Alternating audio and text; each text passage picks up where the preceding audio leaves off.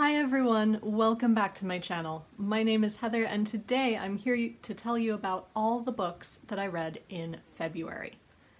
Now I have a fairly small stack of physical books in front of me, but I did have a couple of ebooks and an audiobook to add to that as well. So overall it was a good reading month, not quite as huge as my January reading month, but still pretty fabulous. So first of all, my two goals for each month is to read one classic and one nonfiction book per month. So for my classic for February, I read The Age of Innocence by Edith Wharton. And I really enjoyed this. This is about a young man in the 1870s, 1880s in New York who is engaged and about to start his life, and he is quite pleased with where he is until he meets Countess Olenska, who he knew as a child. He was she was some sort of distant relation. But she moved off to Europe and married, I believe, a Polish count. But she is a source of great embarrassment for the family because she has now separated from her husband and wants to divorce him, but the family thinks that, you know, having separated is scandal enough. Why would you want to divorce him? But she introduces a new way of looking at the world and provides a temptation for him that he has never felt before. Much as I didn't really like any of the characters in this, I thought it was a really engaging read.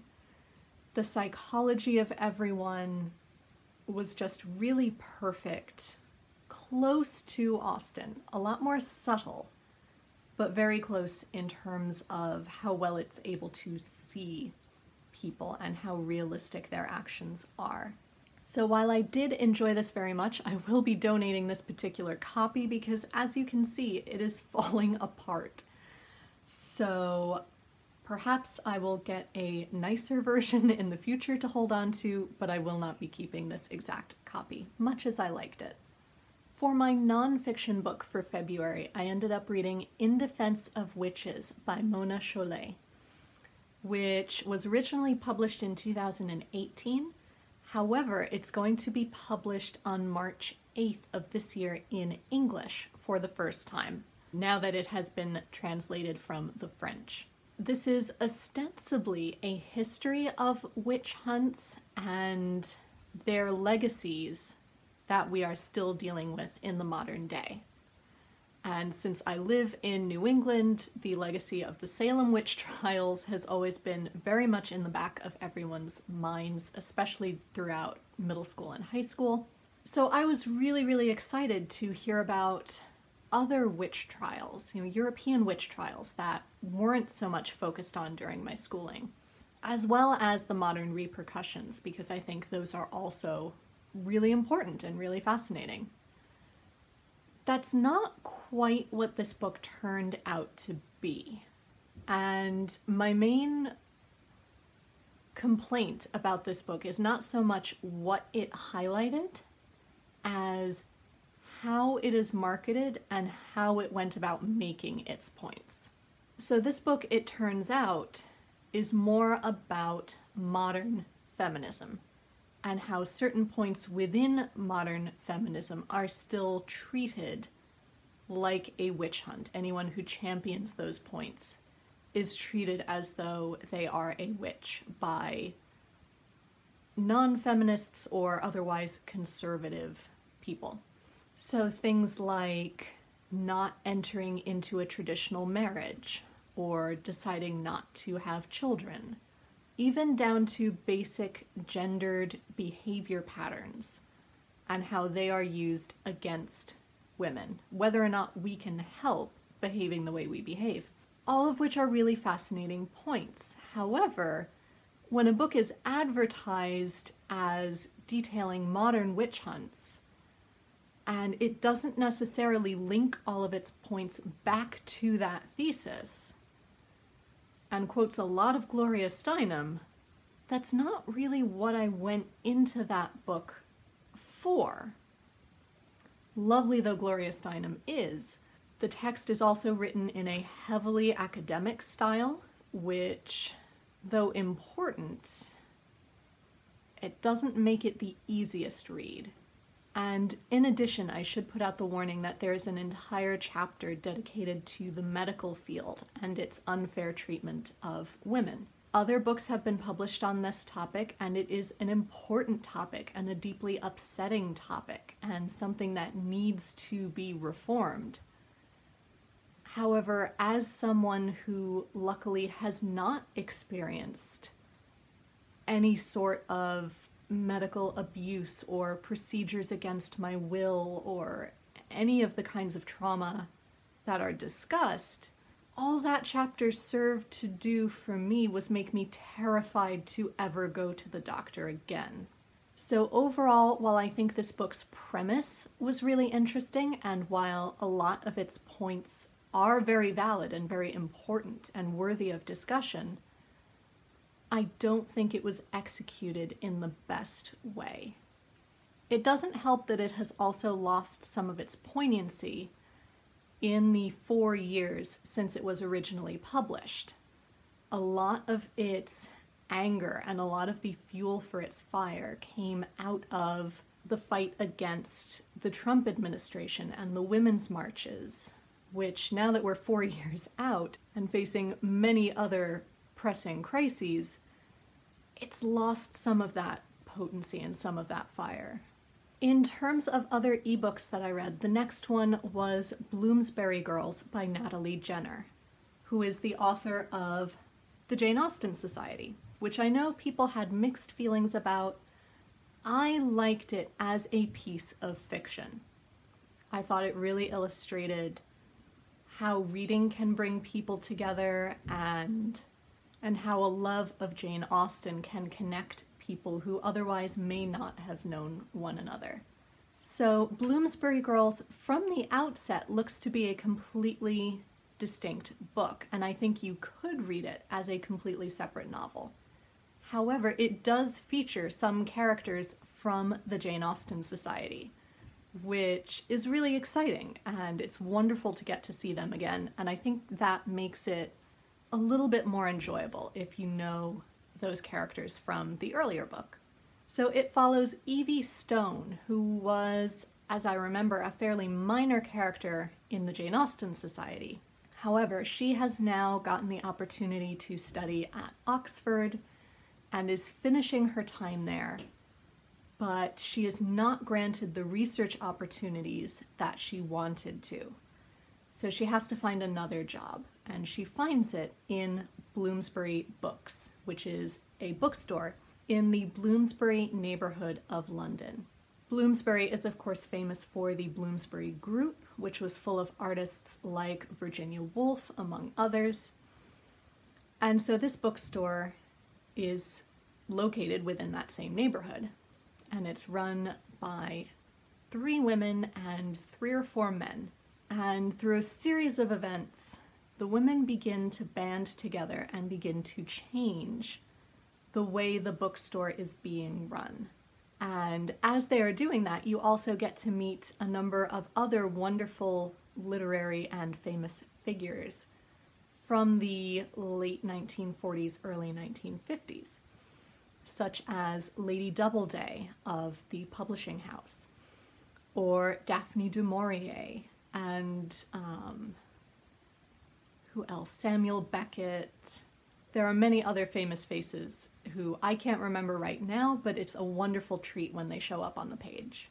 And overall, I really enjoyed this book as well. I thought it brought up a lot of really interesting points, and it was another fun and cozy celebration of books and reading while also highlighting a lot of really important social points that were going on during this time, such as continued, if not increased, racism and sexism and what those left behind after World War II were left to face what it was like for homosexual couples. There are a lot of really interesting points tucked within this very cozy and ultimately uplifting novel.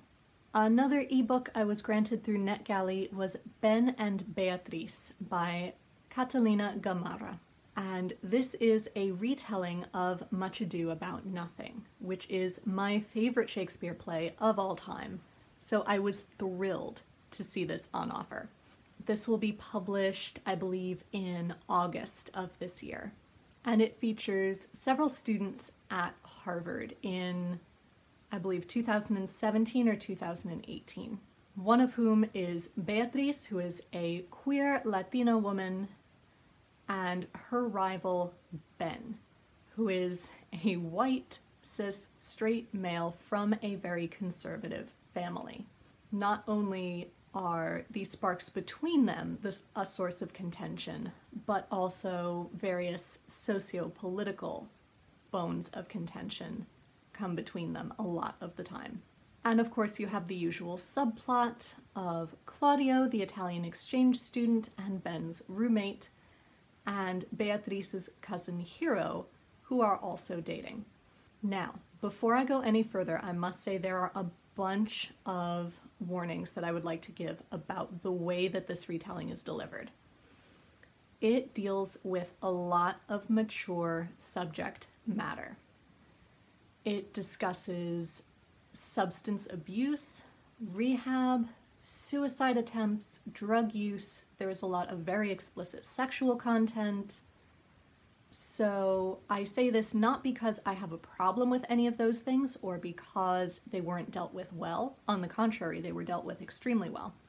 But I say this A, in case any of those are trigger warnings for you, and B, so that you do not give this to a teenager who is struggling with reading the original play in the hopes that this retelling will make things clearer.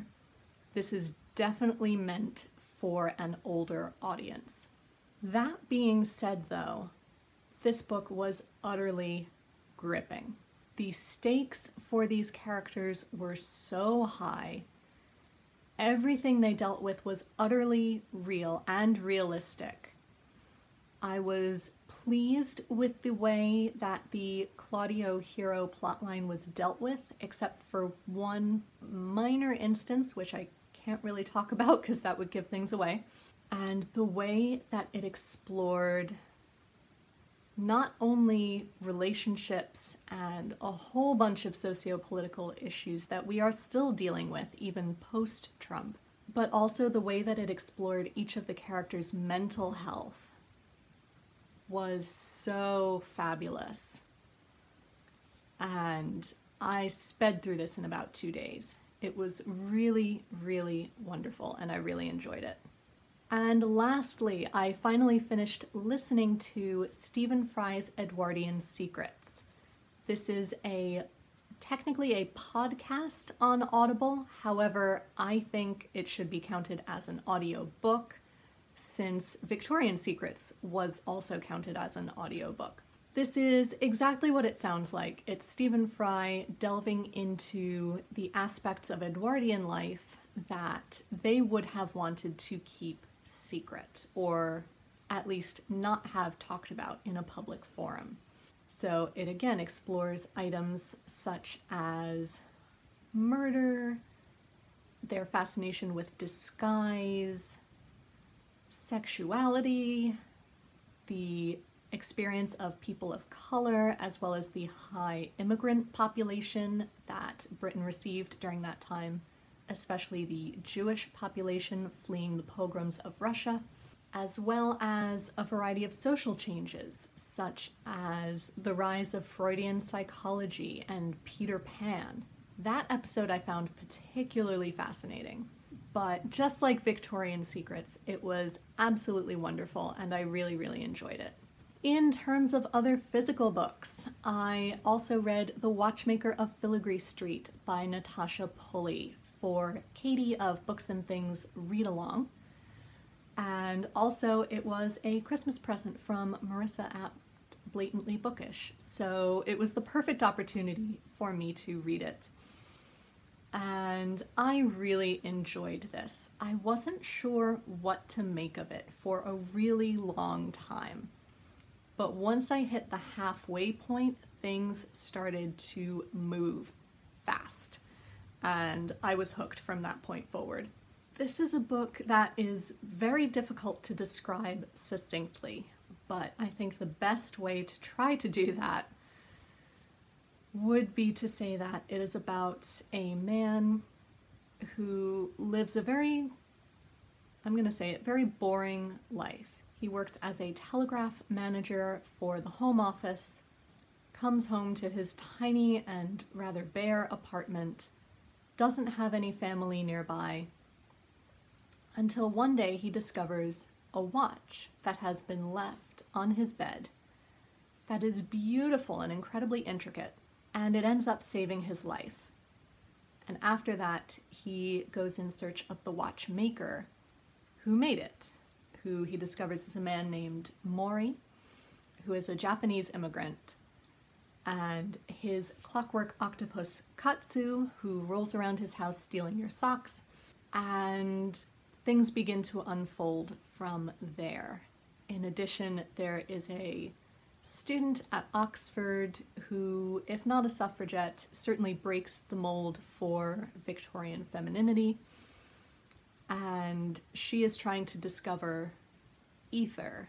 And once the two of them meet, the plot really picks up. I can't say too much more about why I enjoyed it because it would give away major, major plot points but I did really enjoy it. I don't think it's one of my favorite books of all time, but it was a very, very engaging and enjoyable read, and I really loved it. So if you enjoy Victorian things with a hint of the whimsical, the magically real, and a little bit of the eerie, you will very much like this book. Also, because February started with the Lunar New Year, I finally read The Joy Luck Club by Amy Tan. I had heard wonderful things about Amy Tan my entire life, but I had never actually read any of her work before. So I thought the Joy Luck Club would be the best place to start. And I really enjoyed it, so I am looking forward to reading more of her work in the future. The Joy Luck Club is a group of four women who are all Chinese immigrants to California, and they get together to play mahjong until eventually, as the novel opens, one of those women has died. And so her daughter is invited to take her place. And so with each chapter, we discover more about each woman at the mahjong table and these secrets that these mothers have never really told their children. But in addition, we also get to hear things from their children's perspective and things that these girls have never really understood about their mothers. I thought it was really beautifully delivered, although it did get to be slightly difficult to keep track of which mother and which daughter were related and who was speaking at any given time. Ultimately, though, I found it almost didn't matter because the stories themselves were so poignant as to just plain old human experience. And that's what I found truly beautiful about this book. I also read The Secret Adversary by Agatha Christie, which is the first in her Tommy and Tuppence mystery series. This was one of Marissa of Blatantly Bookish's favorite books of last year, and she has been raving to me about it for months, so I was really pleased when I found this very cool looking edition in Kinokuniya when I went to New York City in November. And I have to say I really enjoyed this book. I haven't actually read any Agatha Christie ever. I have seen many of the television adaptations of Miss Marple and Poirot, but I have never seen or read any of Tommy and Tuppence, so I thought this would be the best place to start and it was really enjoyable. It's very different from any of her other detective series. Tommy and Tuppence are two friends who are a bit low on cash, and in their attempts to try and hire themselves out to make some money, they end up falling into the biggest piece of espionage that neither one of them could ever have imagined and they now have to try and work their way out of it, not knowing who they can trust along the way. This is the biggest jaunt. It has twists and turns that you will never see coming, and yet it is very, very satisfying and wrapped up quite neatly, which I think is part of the joy of reading an Agatha Christie. So, overall, I really enjoyed this one, and I can't wait to read more from Tommy and Tuppence. And finally, to keep in my gothic theme for February that I was trying to hold on to at least, I read The Animals at Lockwood Manor by Jane Healey. This is a book about a young girl named Hetty who has received a few promotions only due to the fact that all of the men who worked at the Museum of Natural History, or at least most of them, have now been conscripted, as it is 1939 and World War II is looming quite closely. So Hetty is dispatched with a number of the taxidermied animals from the museum to Lockwood Manor, which is a country estate who has agreed, who has agreed to house this collection to try and protect it from the London bombings. But as soon as Hetty gets there, she knows that something is off. Strange and gothic things start to happen. There are nightmares, there are rumors of ghosts. Pieces of the collection go missing or start moving. Plus, there's the menacing presence of Lord Lockwood, who is just an utter bore and his daughter Lucy, who is utterly intriguing to Hetty in more than one way. This I really, really enjoyed. I had been hearing wonderful things about it really since the pandemic, and I've only just gotten around to reading this, but I am very, very glad that I did. I loved the way that everything was resolved. It does get very dark and very bleak, even in its resolution, but I think that's part of the joy of its gothicness. It did ultimately have a pretty happy ending, and one that you were actually sure of. So I would say this is great for any fans of Du Maurier, but ones who would like something slightly more concrete in terms of an ending. That's my biggest complaint with Daphne du Maurier is I'm never entirely sure what she means when she ends a novel. But here you were utterly sure of how things ended. So I would very much recommend this one. Lastly, I have started two books, but I don't know if I'm going to continue with either of them. I think this is ultimately just a case of wrong book at the wrong time. So I have been trying to start Perfume by Patrick Suskind, and I am about 40-ish pages in so far. And it's good, but it's not really gripping me the way that I feel like it should, given the description. If you've missed me talking about this before, it is about a young boy in Paris in the 17. Forget exactly when, but pre revolutionary France, who is orphaned quite quickly, but it's soon discovered that he has no scent but he has an extraordinary sense of smell, almost superhuman. And this drives him to try to create the ultimate perfume as he grows older, which also leads him to become a serial killer. So, given that plot, I feel like I should be more gripped by this than I am right now. I think it's mainly the style of writing. It's very dry, there's almost no dialogue in those 40 pages. And I don't know, it's not just speaking to me right now. So I may put this to one side, I haven't decided yet. And then I also started Daddy Longlegs by Jean Webster. I may keep going with this just because it is so short. And I mainly started this as an antidote to perfume because I am a major scaredy cat. So my hope was that if I got too freaked out by perfume, I could read a few chapters of this instead. So I may keep going with this into March because I think I could finish it anyway. And this is about a young woman who is 18 and can no longer stay at her orphanage, and she's not sure what she's going to do. Until one of its benefactors offers to pay for her college education on the condition that she write him weekly letters, but also that she never find out his true identity. So she begins to write to him under the pseudonym of Daddy Longlegs, and a relationship forms from there. It sounds very cute, very sweet. It's an American classic that I had never heard of until quite recently. So I may keep going with this nonetheless, and it may grip me more when I'm not trying to read it alongside a vastly different book like Perfume.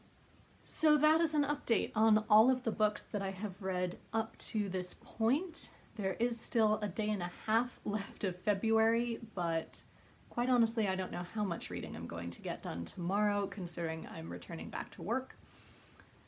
So I thought I would give you that update, and you have seen what I plan to read in March as well. So I will update you about all of those books at the end of the month. And I have a few hopefully exciting videos planned for in between now and then. Did you read any fantastic books this month that you are desperate to tell me about? Please let me know in the comments down below, and until next time, be safe, be well, and happy reading. Bye everyone.